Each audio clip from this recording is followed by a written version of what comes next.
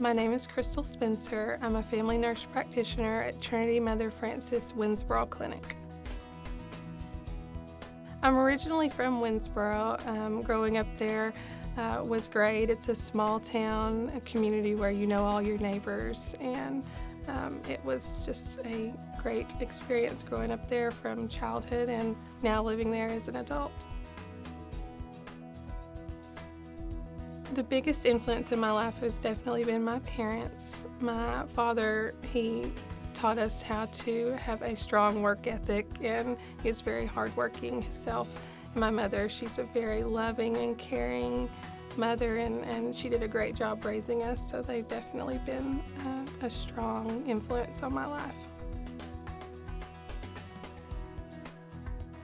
I wasn't originally drawn to the medical profession. I was originally planning on being a teacher because I loved education, but I found a home as being a nurse and I found that that's um, a really important part of my role being a nurse practitioner is educating my patients and I love that part.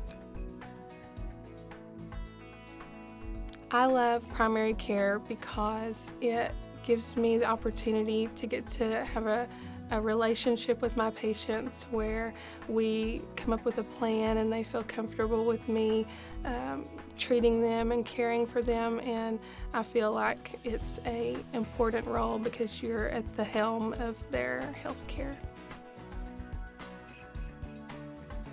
My philosophy in patient care is that I do everything I can for my patients. I try and go above and beyond where they feel like they have the opportunity to ask me any questions and that I listen to them and uh, that I give them the best care that I possibly can.